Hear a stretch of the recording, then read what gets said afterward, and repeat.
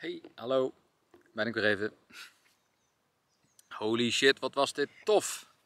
Wat was dit ontzettend gaaf. Ik kom net terug van de Next Level Retreat die we hebben georganiseerd. En het was zo ontzettend gaaf alweer. Zulke fijne mensen en zo ontzettend tof hoe we als groep de nieuwe aarde hebben kunnen voorleven. Hoe we ontzettend in verbinding gingen.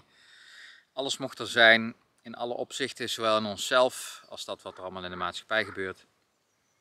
En het is dan ook gek. Het was vanmorgen, voelde ik eventjes, voelde me raar, ik voelde me een beetje vreemd. En het is altijd een beetje dat dubbele gevoel van het is ook lekker om weer naar huis te gaan. Maar het is ook gewoon, je, je laat ook weer iets achter, je sluit ook weer iets af wat ontzettend gaaf is, wat heel bijzonder is. En je hebt een bepaalde bubbel gecreëerd met z'n allen. En dan ga je dan weer uit. Dus dat had ik eerder ook al, maar nu was het nu was het toch weer wat anders. Het, het, raakte me wat meer. Ik werd eventjes zelfs een beetje verdrietig ook. En dat heb ik, dat heb ik niet zo heel snel, niet zo vaak. Ik kan het wel voorstellen, ik kan, kon het wel begrijpen. Ik ben er gewoon eventjes voor gaan zitten, bij stilgestaan.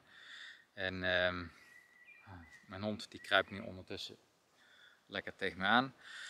Um, ik ben er even bij, bij stil gaan staan en ik voelde van wat, wat is dit nou eigenlijk?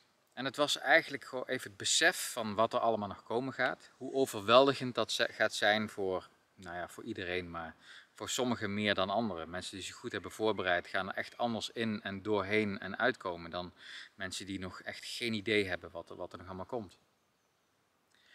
En dat besef en, en dan het contrast met wat wij deze week geleefd hebben met, met deze groep mensen op deze supergave plek.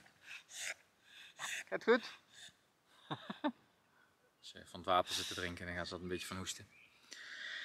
Um, maar dat, dat contrast, het is... En ik dacht ook van, oh, dit, wat er door me heen ging, want toen ik eventjes stil stond en even ging afstemmen op dat een beetje verdrietige gevoel wat ik in, wat ik in me had, was, is dit echt nodig? Oh. Is het echt nodig? Is het gewoon, is het echt nodig? Waarom kunnen we niet met z'n allen gewoon voor de fijne weg kiezen? Waarom kunnen we niet gewoon lekker dit gaan doen vanuit verbinding? Zien wat er is, voelen van nee, maar weet je, dat zijn oude ego-structuren en ego-systemen. En dat, dat moeten we gewoon als mensheid niet meer willen volgen.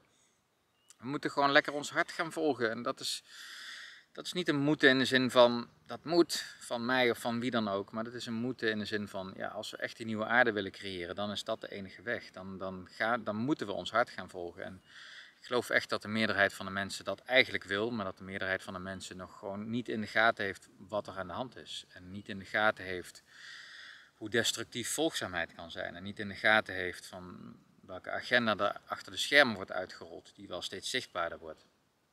Dus ja, is het, het is nodig. Het is nodig. En dat, dat, ja, dat, dat gekke gevoel, dat, dat wilde ik gewoon even delen. Dat gevoel van, oh ja, dat, dat je soms hebt van, juist op die momenten dat je echt in een super fijne setting zit, met ontzettend gelijkgestemde mensen.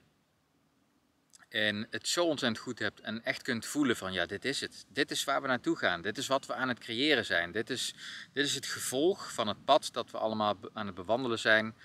En van het steeds meer gaan kiezen voor bewust omgaan met wat er in jezelf gebeurt, steeds bewuster gaan kiezen voor het volgen van je hart, dan gaan we dit steeds meer in de maatschappij zien. In plaats van hier en daar groepjes mensen die samenkomen en dat creëren met elkaar. Het gaat, gaat steeds meer de norm worden. En dat is dan zo gaaf en zo tof, maar juist de mens, voor de mensen die ook voelen van wat er nog komen gaat, kan dan eventjes dat contrast ook schrijnend zijn in jezelf. En dan kun je voelen van ja, is, het, is dit nou echt nodig? Nou, dat gevoel had ik vanmorgen ook even. En ik kan echt voelen van, het is, juist de uitdaging om, om magie te creëren, los van wat er gebeurt. En, en die omstandigheden te begrijpen zo goed als dat je kan. Soms ook even helemaal niet te begrijpen. Maar dan weer terug, terugkomen in een bepaalde mate van begrip, die soms echt veel dieper gaat dan begrijpen hier in je brein, in je, in je koppie.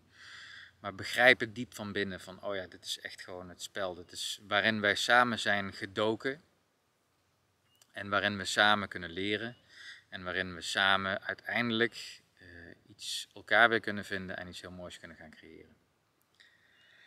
Een zeer grote, diepe transformatie. Wat heel erg gaaf is, want ik zit hier bij een watertje. Je kunt het een beetje zien. En daar zitten superveel libelles. En die staan voor transformatie. Ja. Zo gaat het. Dankjewel voor het kijken. De kikkers gaan weer lekker lawaai maken. Heerlijk. Hallo. Ja, ik ben er weer. En ehm, ik wens je een prachtig nu, een magisch nu. En ik zie je heel graag weer in een volgende video terug.